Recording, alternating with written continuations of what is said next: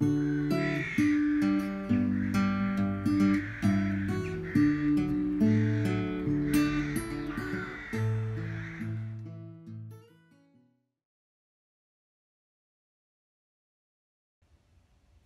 morning, welcome to the shed. Um, so I've got another plane restoration for you today. This is a Lewin plough combination plane which allows you to do uh, rabbets, mouldings and also um, a, a, groove, yeah, yeah, a rabbet basically, um, a channel. Um, the only thing is I'm missing the blade so I'm not going to be able to see it through right to the end uh, but we're going to strip it down, clean it, paint it, fix a couple of issues. I noticed there's a couple of little bits missing so let's get you over to the bench and uh, have a look at it. So this is the um, Lewin combination plane. Made of aluminium but still got enough weight to it to work properly, I hope. Uh, it's fairly dirty so the first thing to do is going to be, as usual, strip it down and um, see what we got. I've noticed at least, so these um, little levers here operate cams for the tightening up against those rods and also for holding the blades in position. Uh, I've noticed at least one of them's missing or broken. Yeah, two actually I can see. So we'll have to see if we can fix those or do something similar. Okay, uh, a bit of WD-40 is the first job. My uh, shed's lovely and toasty and warm because I've got my fire going. So I'm just going to give this a good in all the relevant bits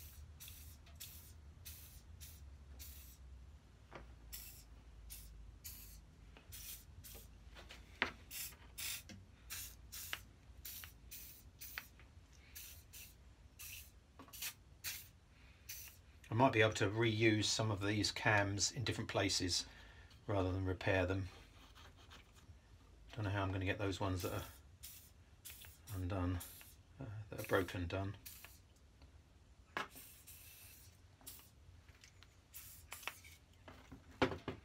Unusual little beast, isn't it? Okay, I'm going to let that soak for a few minutes and go and make myself a cup of coffee, come back, give it a wipe down, see if we can take it apart. Okay, that's had 10 minutes or so to uh, soak in. So we can start taking it apart. So I did a quick bit of research. Yeah, these, um, I see sort of fairly mixed reviews for these. Um, it looks like you really got them to get them set up properly for it to work well, but I guess that applies to most planes that I've sort of learned as I go along. Um, yeah, also, one of the problems that they have is that the blades aren't very easily gripped. Not sure if you can see that in here by this, because this, this is like a little cam that twists and grips the blade. Apparently if the blade's a bit too smooth, it won't uh, grip it and it comes loose. So I'm sure we can get it working, but as I say, I haven't got any blades at the moment, so that's going to have to be a later video. Okay, so what do we got? Don't know what that does. Seems to be loose. Yeah, there's a little uh, score, scorer, scourer, no, what am I trying to say?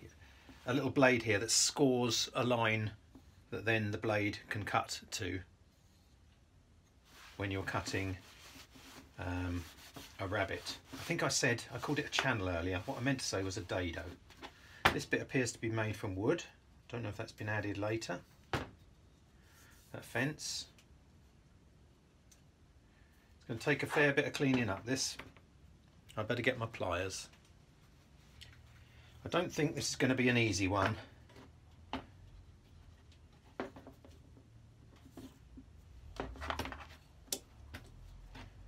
if I can release that. Oh, it does move at least. Cool. Just don't know what way it goes.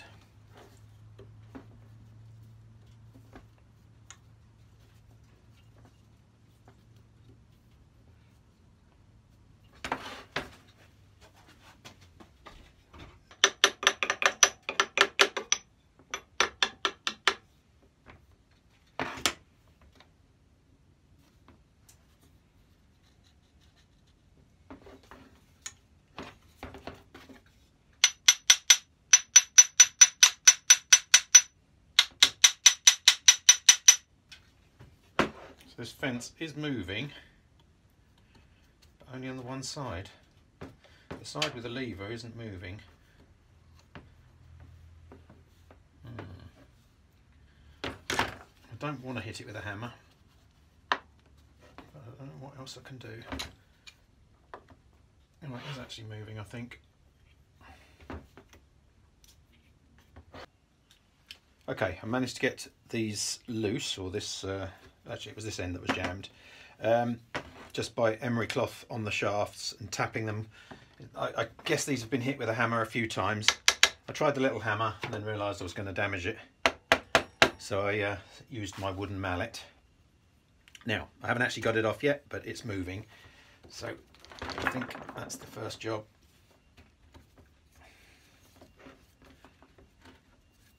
It is coming.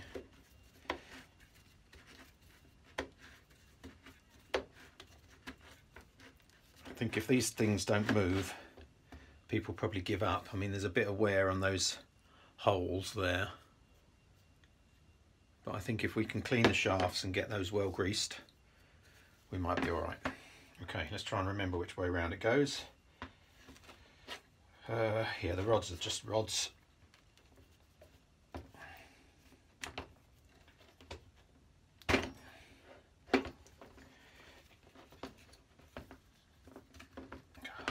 easy.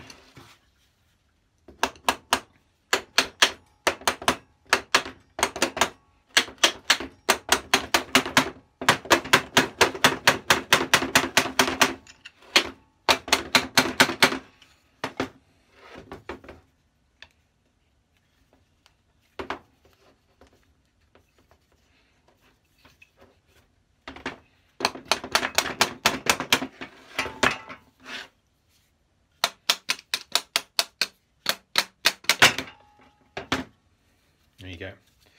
So I'm thinking it's going to be quite important to get those shafts super clean. That's the main handle which goes in the middle. Just trying to remember, make sure I remember which way it goes. And then these shafts are screwed in here. I did have a quick go to get those screws undone and it wasn't easy. So let's have another go at that. I'll have to go over to the vise for that managed to re release those screws. I'm hoping these shafts will just come out. One,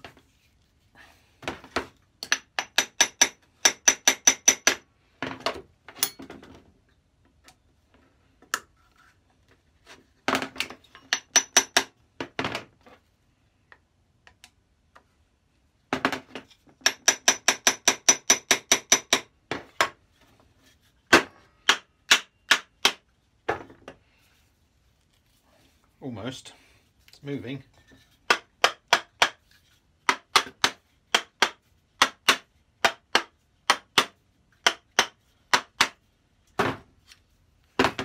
There you go. Those two shafts. Those are the first things that need to be cleaned. Just looking in these holes, again, these are these screws are like a cam that clamps against the shafts. It's also got another hole below presumably just to sort of alter the fence height slightly. Not exactly sure, better go and look that up, see what that's for. Okay, let's take this bit apart and see if we can get it cleaned up. We'll start with this bit. This is like the micro fence adjuster. All of these cams are pretty well locked up, so they need cleaning and loosening up. Just by moving them helps actually.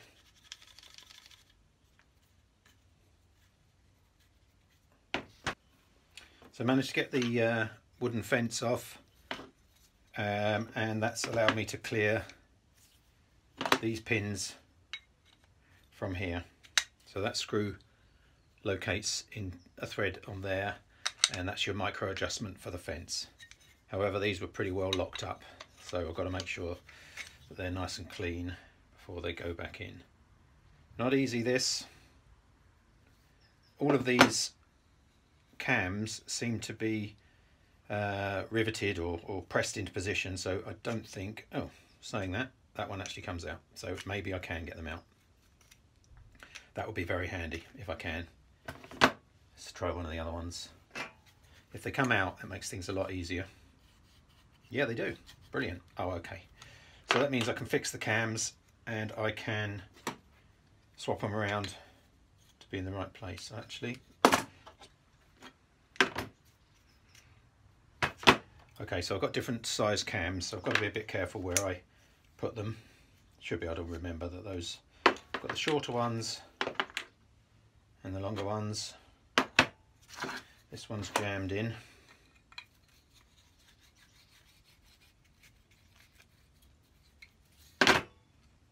And that one's missing the pin. So I'm going to have to find some metal to uh, fix those. Okay, I'm going to carry on taking this apart. I won't show you every single detail. We'll get all the bits done and then we'll start cleaning it up.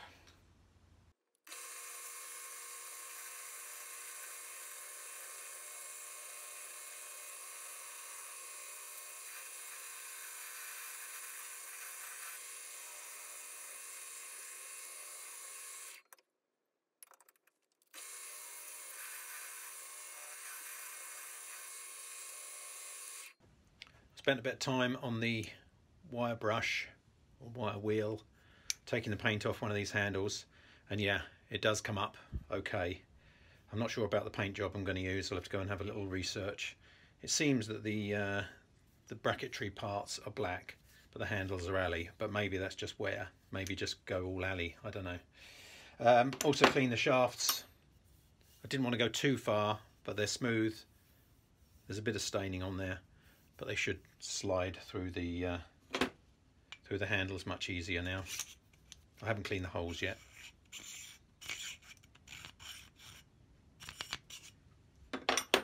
Okay, it's a very mucky job though. I'll carry on with that. I'm not going to film that. So I finished the cleanup of the uh, Lewin combination plane. Um, it's come up really nice, but it took a lot of work on the wire wheel. All of this steel was basically black the alley comes up quite easy, but uh, I had to take quite a lot of paint off. Um, yeah, so three bits, main bits of the body. On the actual uh, cams, these have come up nicely as well. I found out that the actual handles do come out. I won't take that one out because I've tapped it back in, uh, but I was missing a couple, so I had to um, uh, make, make a couple of bars out of a bit of steel. Uh, I also had one where it was actually snapped off, which I had to drill out, which was a bit of a pain. I managed to do it though, which I was quite proud of myself for. So basically, we're here to paint it. Um, so in a moment, I'll bring you over to the bench and we can paint it. Printed off some guides. I don't really know how to paint it, but I think basically it's fill in all of the all of the low profile bits and leave the handles alley, um, clean up the steel bits. And it should look good. Okay, let's do that. So looking at uh, these pictures that I've taken off the internet, I'm not sure if they're correct. Everything seems to be black apart from the handles uh, and the sort of top runners along the top. Although I was going to paint those black. So I'm going to kind of just use a feel, feel, feel for it, see how it looks.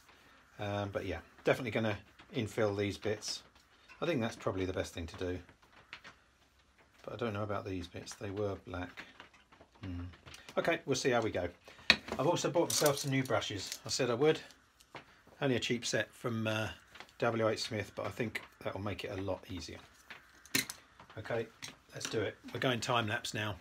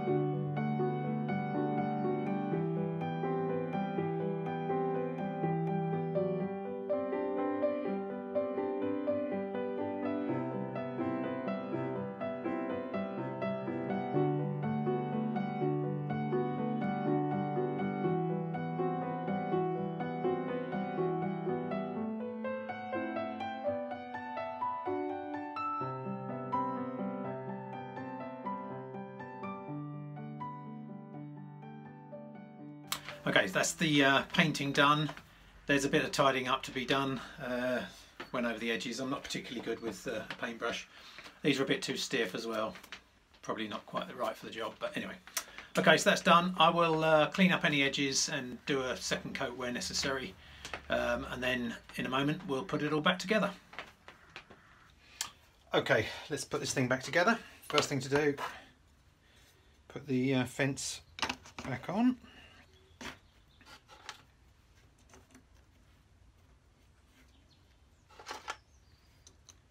I um, sanded this down and oiled it lightly. Brushed up the steel.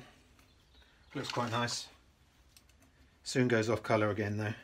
I shall oil it as we go as well.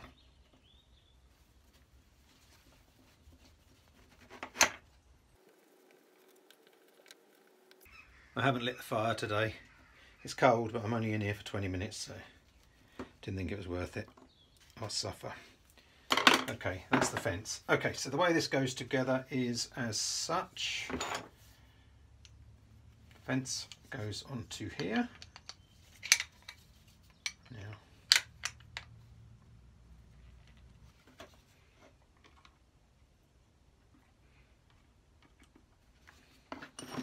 I have to say, I don't think the design of this plane is particularly good. These uh, pistons, I guess you'd call them, fitting into aluminium. So you've got steel steel bars fitting into alley holes. I think it's just, I don't know if they're expanding at different rates or if they're just not very compatible, but I get this problem all the time. Can't get it apart, can't get it together. I can see why people end up hitting it with a hammer.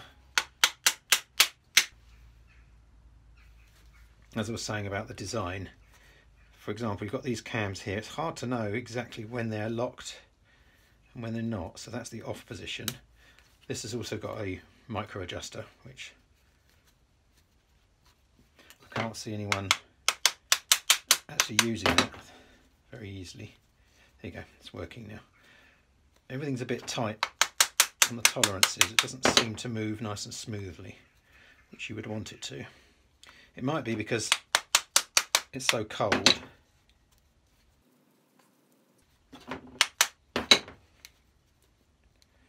Okay, that's all the way home on that one. I am oiling as I go. So it seems almost unnecessary to lock these, but I guess you just give them a, a gentle lock. Okay, so that's the right hand side handle. So the next thing to do is fit these bars. And so, once again, I forgot to put the uh,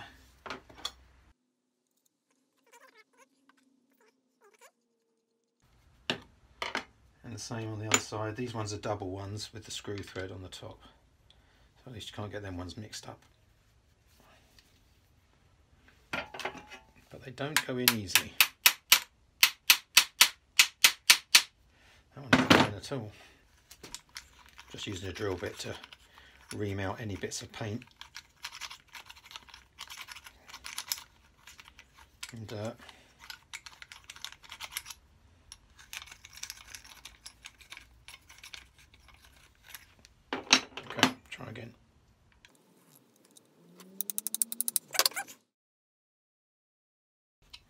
Okay, so these bars go in, let's do it the right way around.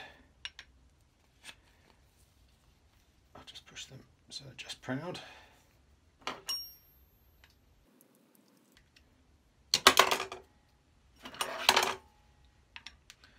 There's a lot of room for error on the uh, if things aren't quite lined up.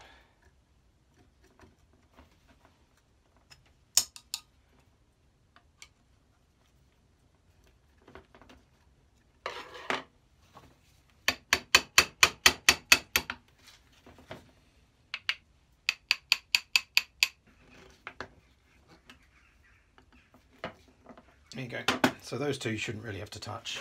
Then we have the centre of the plane. I need to make sure that I've got the correct cams for these because they are different sizes. Okay, that's the correct one for that.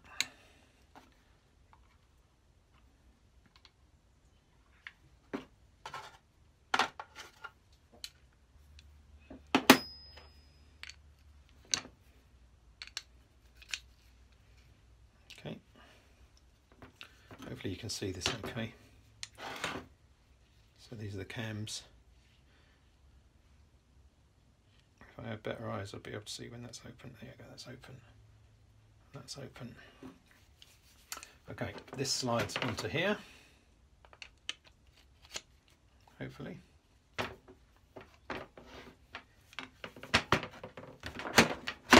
we go.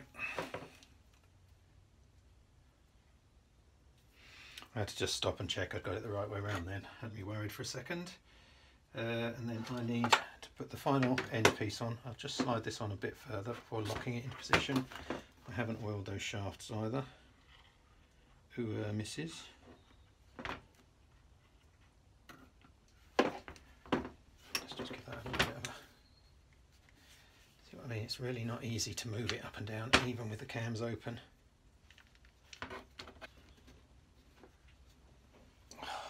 Is not easy to move. There's got to be a better way of doing it. What am I doing wrong?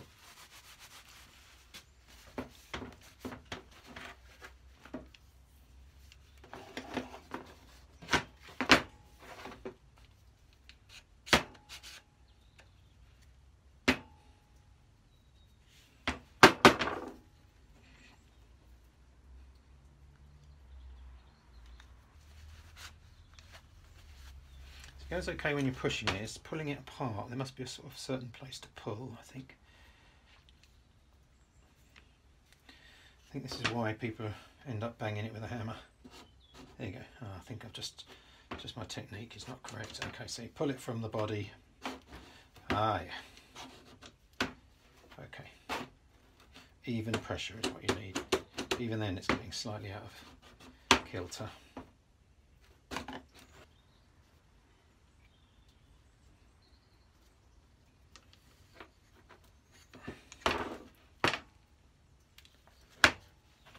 Think if I was designing these, I would have the cam opposite the lever, but that doesn't seem to be the case.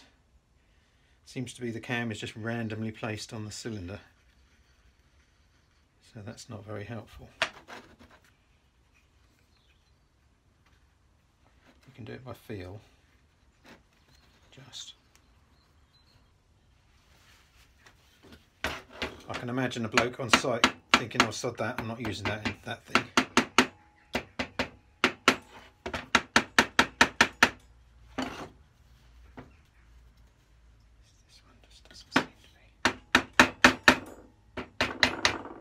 Right, managed to get it together. These bars, you just have to align them correctly, then it starts to work a bit better. It's not a brilliant design, uh, but it's uh, it does at least work, so that does move, again using the uh, pull method. But yeah, it's not that easy to adjust and get set up. Okay, right, that's that bit. Just the final piece, which is this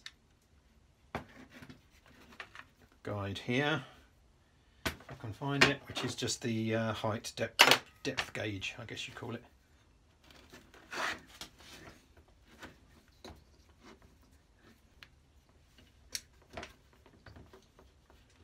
I tried moving the cams around to different positions and that helped a bit but not sure it's perfectly how it's supposed to be. Okay so just to put this uh, depth gauge in that just screws in so that one I mean, I don't really know why that needs a lock, to be honest, but...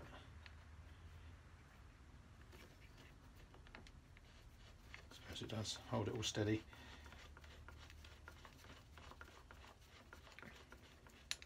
Okay, that's your depth gauge. That is complete. Okay, so, um, yeah, apart from the sort of design flaws, it's not a bad bit of kit. Lot of sense, does it? But there it is. A Lewin combination plane. Now I'm missing the blade, so I can't do that. Obviously, um, I can't do the test. The other thing is there's these little uh, scoring blades in the side which I need to get off and sharpen. It's got one there, it's missing one there, which uh, apparently they're not available. You can make one out of a pencil sharpener blade is the uh, thing to do apparently. Okay, there she is. Uh, just going to get cleaned up and then I'll summarise. Okay, uh, thanks very much for watching. So uh, it turned out okay in the end. I'm not too sure how much use I'll get out of it. As soon as I get some blades, uh, I'll do another short video and we'll test it, see how it works. There's no reason why it shouldn't work, but I think the problem is that it takes a bit of setting up. I don't know what the Stanley 45, which is this is this is the equivalent of, don't know what that's like to set up. Maybe it's just as difficult.